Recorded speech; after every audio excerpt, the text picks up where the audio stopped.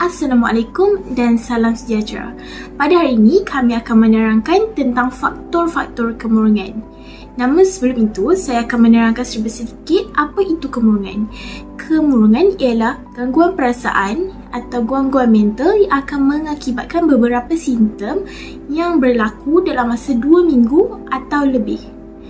Terdapat banyak faktor kemurungan, namun sekiranya individu itu mengalami satu atau dua sahaja faktor, ini tidak bermaksud individu tersebut mengalami gangguan mental yang melampau ataupun kemurungan. Saya akan menerangkan faktor-faktor kemurungan. Terdapat tujuh faktor kemurungan. Antara salah satu faktor kemurungan adalah mudah tertekan. Walaupun mereka melakukan benda yang mudah, mereka berasa sangat tertekan. Ia mungkin kerana masalah ataupun kerja yang sering difikirkan. Kedua adalah hilang minat. Mereka akan kehilangan minat akan aktiviti yang digemari.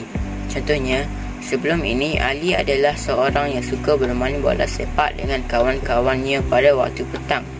Sejak kemulungan, dia suka berada seorang diri dalam rumah. Yang ketiga, perubahan berat badan. Individu yang mengalami kemurungan akan kehilangan berat badan atau bertambah berat badan dalam skala yang agak drastik. Yang keempat, letih dan tidak bersemangat. Individu tersebut akan berasa tidak berdaya ataupun selalu lelah.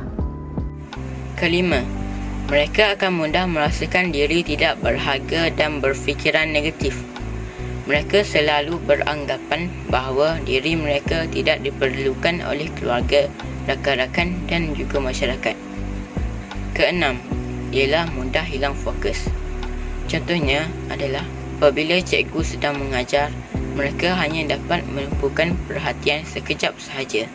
Yang ketujuh, selalu memikirkan tentang kematian atau mahu mencederakan diri. Perkara ini boleh terjadi secara berulang dan akhirnya akan memudaratkan kesihatan fizikal seseorang individu. Antara langkah untuk mengatasi masalah kemurungan adalah dengan mendapatkan bimbingan daripada pakar atau konselor.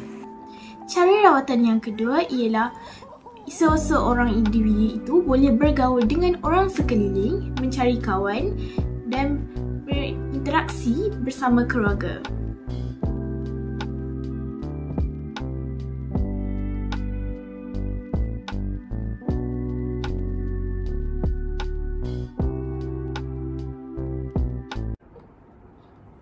Ya, itulah tadi perkongsian bersama pelajar Sekolah Menengah Sains Pendang dalam subjek pembangunan kendiri. Semoga dengan perkongsian sebentar tadi dapat memberikan manfaat kepada anda semua. Allah SWT Muhammad, jangan lupa untuk viralkan video berkenaan atau kongsikan bersama rakan-rakan anda supaya kita dapat meningkatkan lagi pengetahuan uh, kita semua berkaitan dengan apa yang telah disampaikan oleh pelajar-pelajar tadi. So, jangan jangan jangan lupa untuk tekan button subscribe dan like dan jangan lupa untuk tekan button lonceng untuk pastikan anda semua diupdate dengan video-video yang terbaru akan datang. So, terima kasih.